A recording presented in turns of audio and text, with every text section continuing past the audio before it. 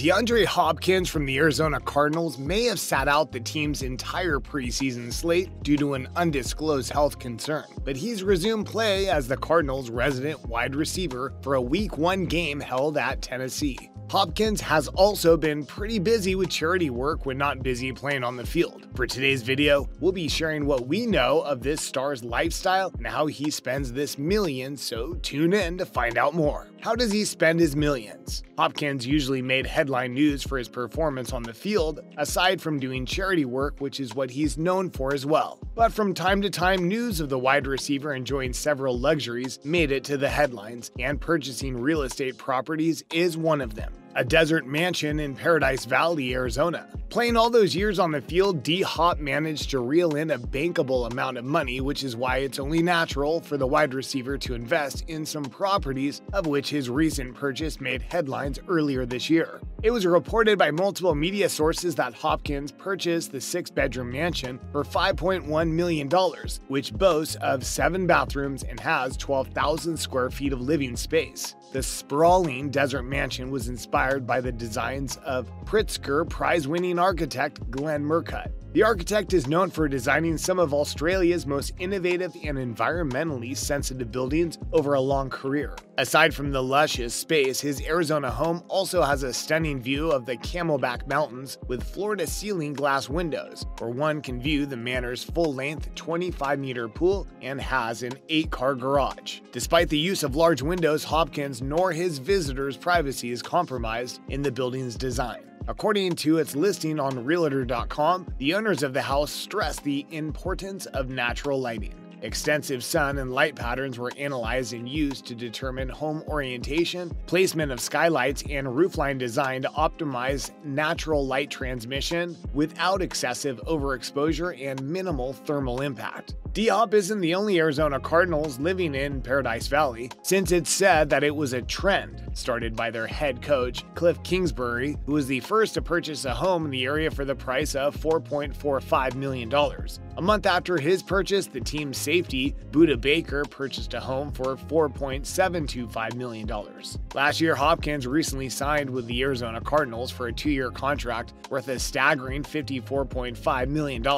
Aside from that, he also received a signing bonus worth $60.05 million and an average annual salary of $27.25 million, according to Spotrac.com's report. The wide receiver also personally negotiated the contract extension by himself with Arizona Cardinals general manager Steve Keim without an NFL agent and relied on a team of advisors during the negotiations. It's ownership and me believing in myself and my abilities to study the terminology of contracts and me knowing where I want to be after football, Hopkins said on a media conference call. Investments. When you start earning big, you realize you need to find a way to keep the cash flowing, and one of the best ways to do that is through investing. Like any business minded person, Hopkins also practiced his entrepreneurial skills by becoming an investor. And one of his most popular investments is with Therabody, formerly called Theragun, which is the maker of the popular percussive massage therapy devices in 2020. Of course, Therabody CEO Benjamin Nazarian is nothing short of happy with the wide receiver's investment, saying, DeAndre investing in our company is the biggest compliment because it shows how much he believes in our company. DeAndre embodies the true spirit of Therabody performance, heart, and style and we could not be more excited about him joining our team.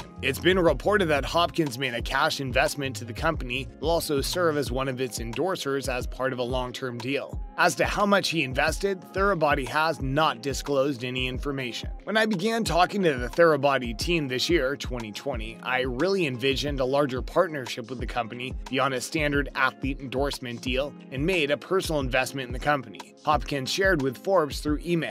I believe in their products and how they can change people's lives. Even before he became an investor, the athlete has shared that he's been using the company's devices for years during his game day warm ups and post game recovery to help combat the physical grind of an NFL season. Since the first time I used a Theragun, it quickly became a staple in my everyday routine and a key asset in how I take care of my body, said DeAndre Hopkins. Therabody champions whole body wellness, an industry that I think will only continue to grow as people prioritize their health more than ever. I was impressed with their forward thinking mission and knew it made sense for me to make a personal commitment and invest in a company that has the ability to revolutionize the health and wellness market. Aside from Therabody, Hopkins is also invested in a plant based meat alternative, Beyond Meat, which he believes has great potential in the long run. I want to set my business portfolio up now for life after football, Hopkins says of his plans. Cars. With a man of his wealth, DeAndre Hopkins could easily afford any car he wishes, but there have been little to no reports that give us info on what and how many cars he has. What we do know is that he owns a black and gold Ferrari, which was revealed in a report back in late October 2020 when he flipped off some of President Donald Trump's supporters on what's called a Trump train. Following this incident, Hopkins made an appearance on the All Things Covered podcast where he explained the reason behind his actions on that day. Driving on the highway, I guess I got in between a bunch of cars that I wasn't supposed to be in between my car, the athlete explained. They were honking the horn at me and stuff like that to tell me to get out of their way, and I didn't.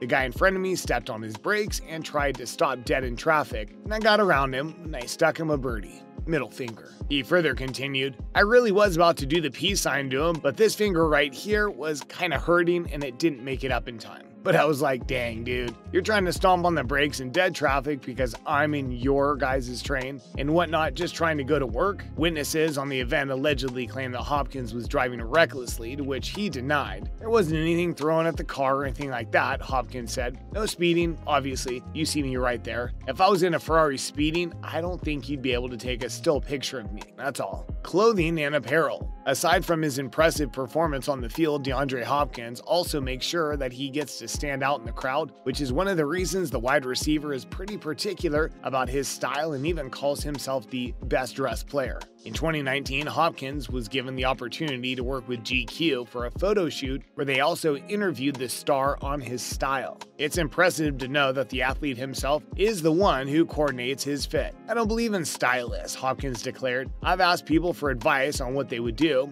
I would come up with the idea and ask them, can you get someone to make it? Hopkins even shared that he wanted to explore a lot in design and how certain brands reach to work with him. I've gone to some brands directly. I've done stuff with Louis Vuitton. They reached out to me actually. They sent me to the Virgil Abloh show in Paris, gave me a ticket and S. S was dope. Virgil urged me to go. He also expressed that he wanted to try designing women's clothes, but nothing crazy, and something that women can wear every day. I don't believe stuff should be out for the perfect model. I think that's where we go wrong right now in this day and age. We make stuff that's not realistic. I always told myself if I ever did a fashion show, I'm not going to have models. I'm going to have regular sized women. What's the point in having some S people don't even want to wear because they see this skinny person in it all the time? Hopefully, Hopkins can make this dream a reality, and for that, we'll just wait around and see. Philanthropy and charity. So you may be asking what kind of lifestyle he's been living. D Hop, as he's been fondly called, dedicates a lot of his time and effort raising money for charity if not donating some of his. His most recent venture is a cereal line called DeAndre's Hot Box, in which a portion of the proceeds will benefit a good cause, the SMOOTH Foundation, his nonprofit organization, which he established with his mother, Sabrina Greenlee, to help survivors of domestic violence. This event was first reported by TMZ Sports, which was confirmed by one of PLB Sports and Entertainment's representatives, Troy Witt. D Hop's Hot Box will be unlike any athlete cereal before it, which shared with TMZ Sports. DeAndre helped curate this box in a way that only he can be blending football, fashion, and family. We're proud to be working with him. According to their website, Smooth's mission is to empower, educate, and equip survivors of domestic violence through acknowledging, preparing, and affirming their whole selves. We implement this mission through innovative, individualized, and impactful programming that meets the needs of our survivors. I'm excited to work with PLBSE to launch my own cereal box. Hopkins said in a release. It's always been a childhood dream to have my own cereal, but most importantly, I'm glad we can continue to help domestic violence victims through this great cause. With that, we're wrapping up today's episode about DeAndre Hopkins' lifestyle, how he spends his millions. Thanks for watching,